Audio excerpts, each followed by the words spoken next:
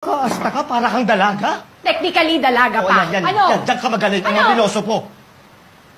Chris, alam mo sa lahat ng babaeng kilala ko? Ikaw lang yung takot at takot magpakasal. Yung mga babae nga dyan nagkakandarapang magmarip siya sa simbahan. Alex! Seryoso at sagradong bagay ang kasal. Kailangan ko munang malaman kung magkakasundo tayong dalawa. Kaya nga nag-live-in tayo.